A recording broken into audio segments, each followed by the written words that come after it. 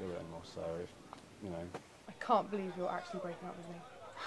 look, mate, I'm sorry, all right? It's just things aren't working out, and What do you mean things aren't working out? You told me you loved me. okay, look, it's not you, right? It's me. I Did you honestly just say that? what? Say what? You're such a dick. Well, that's not really proper, is it?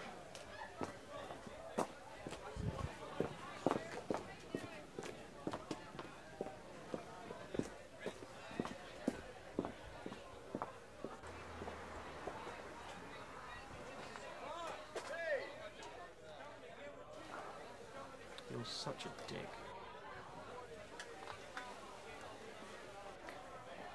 Come on, let's get another drink.